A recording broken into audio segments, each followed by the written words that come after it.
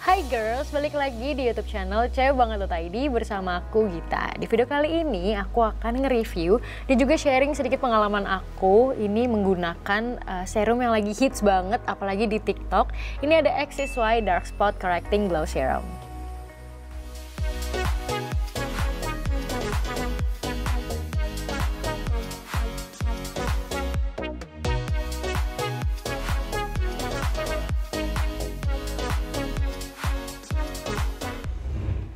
Nah buat kalian yang suka banget main TikTok pastinya udah banyak banget ya keracunan skincare dari TikTok mulai dari masker lalu mungkin ada sunscreen juga dan juga ada serum. Apalagi serum ya serum tuh banyak banget rekomendasi yang bagus-bagus. Dan ini aku juga keracunan.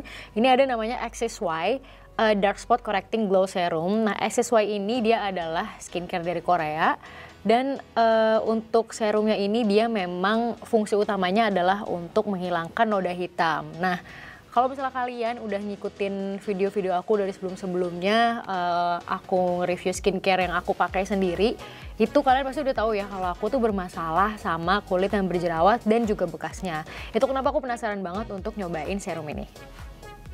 Nah untuk serum dari XSY ini sendiri yaitu Dark uh, Spot Dark Spot Correcting Glow Serum dia ini ada uh, tiga bahan utama yaitu tapi bahan utama yang paling utamanya adalah niacinamide. Nah kalau kalian tahu juga ya niacinamide itu emang uh, terbukti dan udah terpercaya banget untuk menghilangkan noda hitam dan meratakan warna kulit. Jadi buat kalian yang pengen kulitnya lebih cerah atau pengen uh, meratakan noda hitam itu emang harusnya pakai niacinamide. Nah biasanya orang-orang pakai di ordinary ya. Tapi uh, si Dark Spot Correcting Glow Serum ini dia juga ada beberapa ingredients lainnya.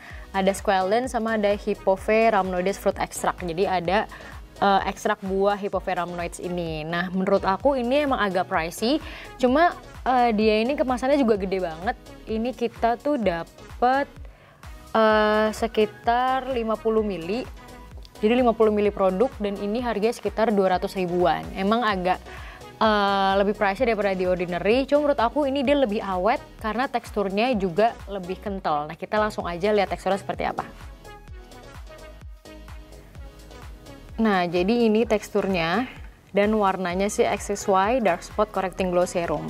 Nah yang aku suka juga dari produk ini, dia ini pengaplikasiannya ini menggunakan pump, jadi bukan pipet seperti serum pada umumnya. Dan menurut aku ini jauh lebih higienis dan lebih praktis aja gitu. Dan uh, kita kayak jadi lebih bisa naker kira-kira kita butuhnya tuh seberapa banyak. Jadi nggak terlalu banyak atau nggak terlalu sedikit. Nah untuk teksturnya sendiri dia ini uh, lebih kental daripada serum pada umumnya. Dan menurut aku sendiri uh, jadi kayak lebih irit pemakaiannya dan dia gampang banget untuk menyerap di kulit. Nah sekarang kita lanjut untuk ngomongin apa sih yang diklaim oleh produk ini yang bisa bikin dia tuh laku banget dan viral banget ya. Jadi pertama uh, dia ini punya kandungan niacinamide 5%. Ini menurut aku adalah niacinamide yang lumayan tinggi apalagi kalau misalnya kalian emang fokus untuk mencerahkan bekas jerawat.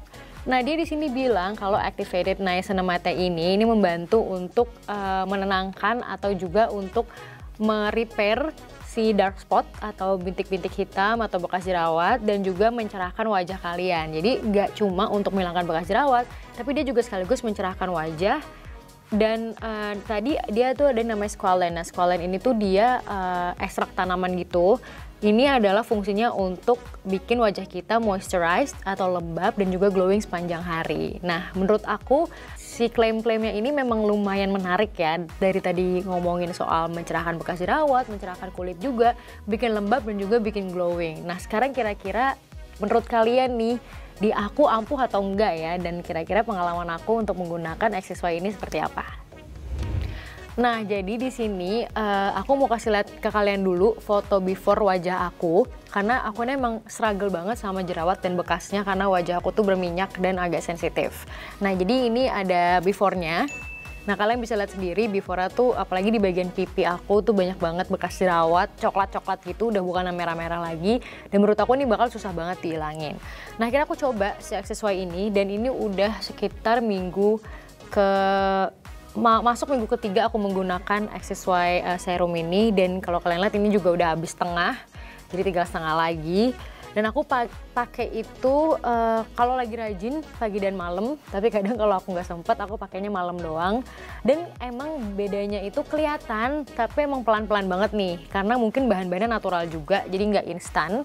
Dan ini foto afternya setelah nyaris uh, tiga minggu pemakaian dan kalian bisa lihat sendiri ada perbedaannya walaupun nggak signifikan cuma yang paling kelihatan adalah wajah aku tuh makin glowing dan makin cerah. Tapi walaupun bekas jerawatnya ya memudar sedikit cuma perbedaan lainnya itu sangat signifikan. Jadi menurut aku klaimnya ini bener dan uh, di wajah aku juga nyaman dan kalau masalah lama enggaknya dia ngaruh menurut aku ini uh, relatif lah ya. Karena emang kalau mau mendapatkan hasil yang maksimal kita juga harus sabar dan harus rutin juga. Nah aku juga makainya kan kayak bolong-bolong. Jadi menurut aku tetap aku suka banget sama produk ini dan hasilnya tuh kelihatan banget Nah sekarang kira-kira menurut kalian nih, apakah produk dari Accessway ini worth it atau enggak buat kalian beli dan coba sendiri, apalagi buat kalian yang struggling banget sama bekas jerawat sama kayak aku.